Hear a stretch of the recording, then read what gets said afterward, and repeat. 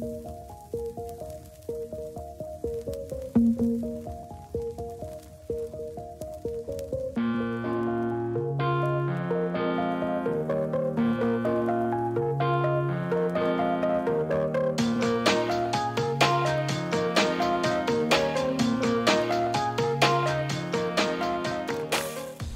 been spending the last 24 hours driving around Paris in the Dacia Spring, one of your creations and Europe's cheapest electric car.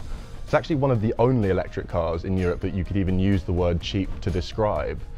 Is it very difficult to make a cheap electric car or is everyone else just making it look difficult? Uh, first, the Spring is not only cheap. I would say this car is the essential. For us, for Dacia, this car was made to be, let's say, the electric revolution by Dacia. So making an electric car affordable for the people and very essential into, in order to answer to the city needs that uh, people have for commuting purposes, for example. We were saying yesterday when we were driving, there's a lovely weight to the controls in the car. Everything feels quite tough and rugged. Is it, it, it's, it's entirely possible to make a car that's affordable but still has plenty of character to it, isn't it? Yeah, yes, it's not only a city car, it's also a city car with a flavor. And the flavor of this car is to be with an outdoor flavor. Uh, so you can see it for, the, uh, for example, on the exterior design cues that you can have, such as the lateral protection uh, and the SUV look of the car, the high stance it has, the ground clearance, and, and so on. And you're right that inside also we try to keep this kind of uh, outdoor spirit uh, in the controls uh, and let's say the surroundings that we have inside. One of my favourite features on the car that I noticed yesterday was what you guys call the flexi wheels, which are basically the most convincing looking wheel covers I've ever seen in my life. I had to tap on them to make sure. Um, could you tell me about a few of the other, your favourite features on the car, some of the things that you're really proud of? This one is very interesting that you mention it because this one is clearly in the heart of what is, let's say, the Dacia mindset, which is the design to cost. Because here it looks like an alloy wheel, but it is not. and in terms of, so you have the value, but you do not have the cost. And if we, if you think about doing, let's say, affordable cars, uh, uh, but still with value, this is exactly what we are looking for uh, in, inside uh, those cars. But th- this car is not only, let's say, a beauty in itself or let's say a design, uh, a styling car. Obviously, it has a purpose. For me, the what we have to mention is that all the, th- the way when we were developing this car, we had only one obsession, which was, let's say, to keep the weight very low. In order to secure that all, let's say, what we would put inside, type of battery, let's say, size of the battery, size of the engine, we would be, let's say, as affordable as possible. Uh, because uh, this is exactly what we were looking to. For us, uh, taking this car into the market was a kind of manifesto of what could bring Dacia into this market because we could have uh, said, okay, why Dacia is doing an electric car, and we would not have done an electric car as the others. So thi- this car is clearly not like the others. So we clearly designed it at purpose to be a city car, uh, very light, uh, very affordable for the people, and this was, let's say, our mindset uh, during the development uh, phase.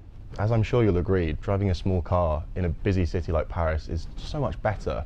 Do you think that maybe with electric technology, with bespoke EV architecture, in the future we're maybe going to see a move away from these unnecessarily big SUVs and that cars might become smaller with the interiors getting bigger? Mm. Yes, um, the first thing is that uh, we have to design at purpose, and this car has been designed at purpose, really answering the commuting needs uh, of the people. In the morning, A to B, I'm going to work, I'm going to pick up the children, and, and so on. And here you have to design the car for this purpose. You do not have to add, let's say, extra additional things. Obviously, we have other manufacturers and even mainstream ones that are doing like, you know, putting all the polyvalence that are needed by the people inside an electric car. And there it's going, to, the, the challenge or the equation is much more complicated to solve because at the end it's heavier, it's obviously more, much more expensive. But that was not at all our, uh, let's say, intention uh, inside, inside Dacia. Uh, we clearly wanted a, a car that was, uh, let's say, affordable for all, an electric car affordable for all. Look, currently, the, in Europe, you have around 60% of the people saying, ah, I, I was willing to buy an electric car. Yes, but 30% of them were not able because the price was, let's say, the, the, the main problem that, mm. that they have. So our, uh, let's say, intention was to say, okay, how can I disrupt this question doing a car that would be affordable for, for example, in France, we are starting at 17,000 uh, euro without the incentive. So then after you have the incentive that ca can even lower the price. So this is the, ch the cheapest, let's say, the most affordable one.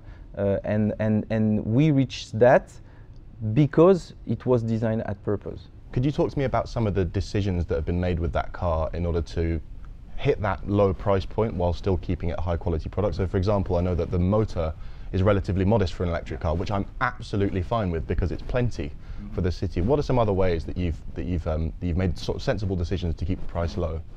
Uh, here I can, I can do a little bit of history because this car has, a, has to some extent a long history.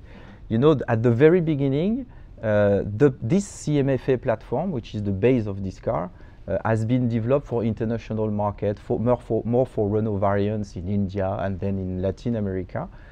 Uh, and then we went to China looking at how we could get into this market and so on. A Renault variant uh, has been developed in EV, so taking the CMFA Alliance platform but putting it EV. So let's say I would say that when Dacia was thinking about how to bring an electric car in Europe, this ecosystem was existing within the, the group. Uh, and the, the lucky thing, is, uh, the lucky we are, uh, was that uh, this platform, CMFA platform, is a super light platform, very compact and very roomy. Because it was, let's say, designed to cost at the, at the, at the, the principle since the beginning. So then what we had to do was rather simple, let's say, is that to take the, the, this car produced in China based on Alliance platform, uh, let's say, and to, to make, let's say, the best of both worlds, I would say. The, the first word is that we have a huge knowledge in the electric, uh, let's say, uh, uh field uh, inside the Renault group. So to benefit from that, all the experience to develop a good car uh, as an electric car, I would say. And second point is was to, let's say, made it a Dacia. so it make, make the right choices, do the styling adaptation, uh, as well as obviously uh, adaptations of the regulation for Europe, the safety, uh, the content, uh, uh, let's say the charging, uh, and, and so the multimedia. So we started from this very good base, very good ecosystems, and we, let's say, bring that back to, to, to Europe. And I think this is a bit of the recipe of, of the, uh, let's say, the, the, the, success of the car. We can say a success because we already are, let's say, full of orders uh, for, for this car. And that's why we are, let's say, kind of unique in terms of offer, of, of offer in the, in the market. You obviously mentioned Renault Group and one of the privileges of being part of Renault Group is you get to borrow from all this experience from the Renault brand. Is there any key learnings from Zoe, for example, in terms of what customers do and don't like in an electric car that have been applied to the Spring? Yeah, yeah. So uh, this is a very important point because um, it's not it's not only Dacia, it's also the part of the, the, the Renault Group expertise in terms of the EV. Uh, so uh, we have to say that all the uh, electrification of this car has been done by the, uh, let's say, uh, Techno Center Renault Group engineers.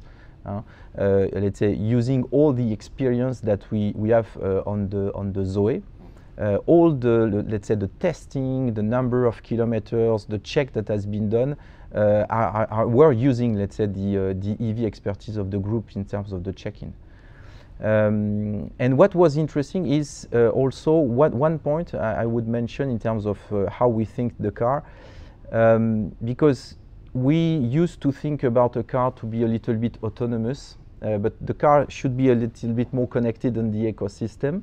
And for an electric car, it's even more important. So I would mention two things that we brought from the Zoe experience.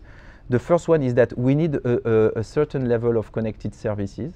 Uh, when I say connection, is that I want to uh, uh, launch my, let's say, remote, uh, my charging. I want to launch my preconditioning. I want to see where is my car. So we since the start, even though the car is, let's say, rather affordable, mm. uh, we have the, the, connection of the services. And this, we knew from the Zoe experience that this is an important, the car is not only, uh, let's say, itself, but a part of the, uh, of the ecosystem. So th th this was one of the, the points. And the second point it was to say, okay, uh, we need to adapt also, let's say, the charging capabilities of the car. Uh, you have, for example, uh, here we have uh, AC and to DC, to DC 30 kilowatts Uh, uh, charging. So we have, a, let's say, a wide range of possibilities uh, in terms of charging. And this was also, let's say, take, taken back from the experience of, of Zoe. Do you agree that maybe there needs to be a slight change in mindset as we enter electrification with people focusing more on just buying what they need and nothing too much? I am completely with you on that point. I, am convinced of that. Uh, we, sh we should go clearly to the answer to the people usages. Mm. And uh, if you take uh, a segment, so the, the city car or mini car, uh, uh, city car segment, the average uh, kilometer per day is 30 kilometers this is, this is statistics of the usage of the people. So when you're buying a car to do this, how is the, the, the, range you need? With 230 or even 300 in, in, in city, you're done for, I mean, you, are done for 10 days. Absolutely. So I mean, it's a one week charge. Okay, it's so the, the, the range, but obviously this is, uh, let's say, taking time because the inertia of the people, the, the, because they need to understand and we need to explain. Okay, a couple last questions. I'm going to talk to you about the future. Um, about three months ago, I think it was it was reported that Dacia was having a good look at the spring and the performance of the spring, and then formulating a decision about the UK and right-hand drive models. Do you have any information for us about whether or not we may see the spring in the UK in the future? So uh, obviously we have appetite so we want to, let's say, to extend uh, this car as much as it, can because uh, uh, it has a great potential. We are currently looking at uh, how we could do, let's say, in more international markets that are covered by, by Dacia in order to extend progressively. Uh, we are currently under study uh, for the, let's say, a UK variant, but nothing is decided yet. So sorry, but I cannot, uh, let's say, give you a yeah something. Well, I'm yeah. hoping lots of our subscribers are going to comment on these videos and say, "I'll buy one, please," and that can help your decision. Understandable. Um, and then secondly, obviously, uh, Renault Group has some bespoke EV architecture at its disposal now. The platform that's used on the new Megane, shared with Nissan. Um, I imagine that that's something you're having a good look at and hoping to apply to future Dacia models? Because one thing I think about the Spring is just imagine how much space you'd have in that tiny little package if it was sitting on the bespoke architecture. Is that, a, is that something we can look forward to in the coming years? Uh, here we are coming to, to a question of, let's say, the Dacia uh, strategy uh, globally. Um, we have one component which is super uh, important to us, which is the CMFB platform. Mm. CMFB platform is the platform that we are using with the new Sandero, the new Jogger. So this is a brand new platform taken from the Renault group that we designed to cost uh, in order to fit exactly to the need and the essentiality that we want to bring to, uh, to our customers.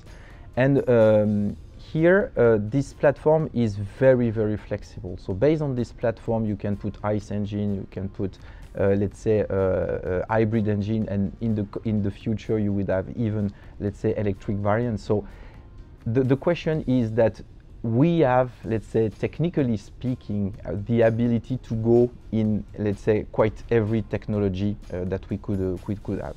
Now the question is when, and the, the when will be the answer, uh, the question of the, the, the, the, the customers, and when the cost to value ratio, let's say, the essentiality will be there. So we are constantly, and this is my job, and not only mine, but the, the, the one of the, all the people in the Dacia business unit, which is, okay, like looking around, uh, uh, let's say listening to us to our customer in order to know when the maturity is there and when we could do the disruption, because this is what we are looking to. So nothing is closed, everything is open, everything is under study, uh, and the question is more when than than uh, let's say what we would do, but when.